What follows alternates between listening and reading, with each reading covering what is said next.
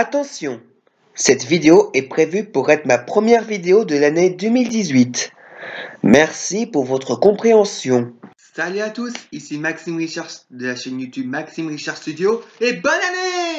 Juste un petit jour on ira faire. La fiesta, la fiesta. On va danser le vélo vert. La fiesta, la fiesta. Ce soir on est les rois de la terre. La fiesta, la fiesta. On finira la tête à l'envers. Bref, un très bonne année à vous tous.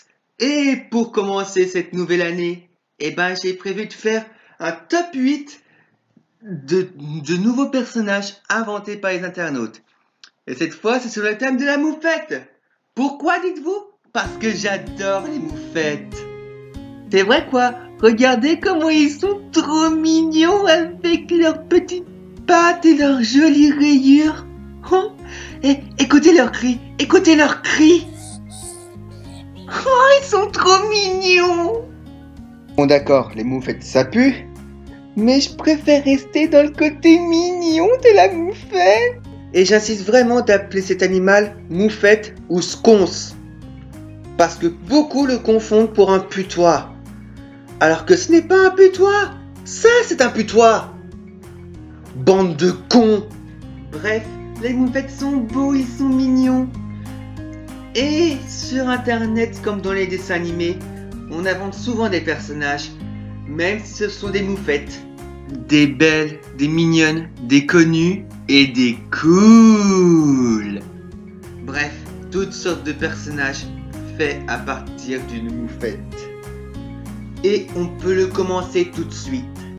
On va commencer par ce personnage appelé Melon. Elle est mignonne et c'est une bonne idée de faire une moufette verte. Et ne demandez pas pourquoi elle dit tomate, euh, j'en ai pas la moindre idée.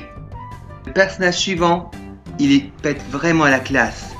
Même quand on prononce son nom, Edelweiss. Rien qu'en le disant, on sent déjà qu'il est cool. Le personnage suivant, elle est vraiment mignonne. Ça se voit vraiment avec ses cheveux qui cachent ses yeux.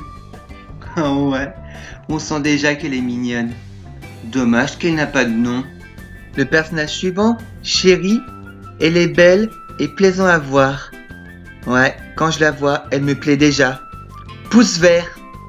Ah, le personnage suivant, il est vraiment cool, hein Avec ses lunettes et sa mèche, ça se voit vraiment qu'il est classe. Dommage qu'il n'a pas de nom. Oh, elle est mignonne, le personnage suivant. Elle se nomme Muffy. Et elle est très mignonne. Et sa, et sa petite queue est vraiment sympa. Le personnage suivant, Diamond, est classe rien que dans le design. C'est vrai, il est vraiment classe. Et allez, encore un personnage sans nom.